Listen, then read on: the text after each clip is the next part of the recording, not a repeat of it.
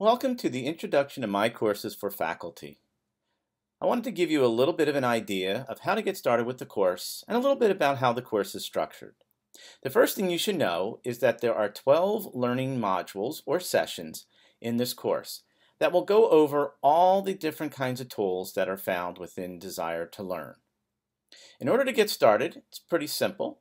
You want to click on Content and then click Content again. When you do that, you're going to be taken into the content area and you're going to be taken to the overview of the course.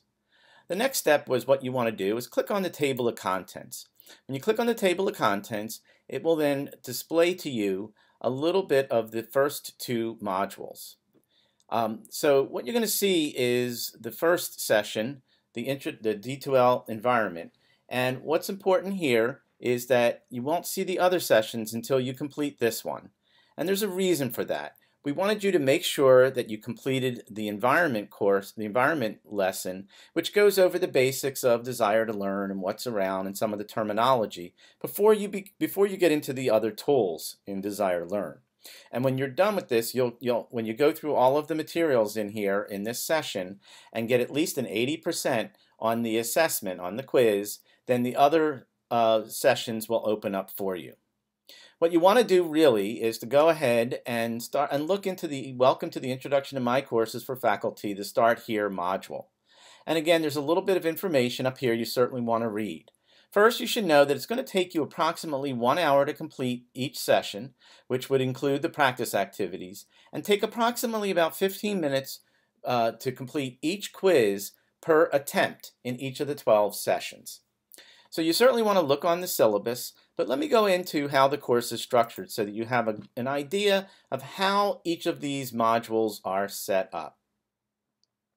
So again, what you want to see is uh, you want to see that there is a session description. There is an overview that gives you a brief idea about the, the tool. There's practice activities, tasks that you can use to complete in your sandbox course or in another course. And there's video, lots of video tutorials. Then there's a knowledge check. The knowledge check has two things in it. First, it has a faculty to faculty discussion area for you to discuss how to use these tools and what these tools do and how they're different and how they can be utilized to make for student success. And then there is an assessment. It's a 5 to 10 question based on the session topics, based on the, the, um, the video tutorials, and you must get at least an 80% on each of the assessments in order to receive your certificate.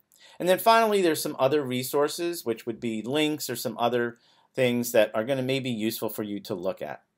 So that's what you need to do. That's how you get started um, within the introduction to MyCourses. Your campus instructional design technologists are here to help you, and we hope you enjoy yourself in this course.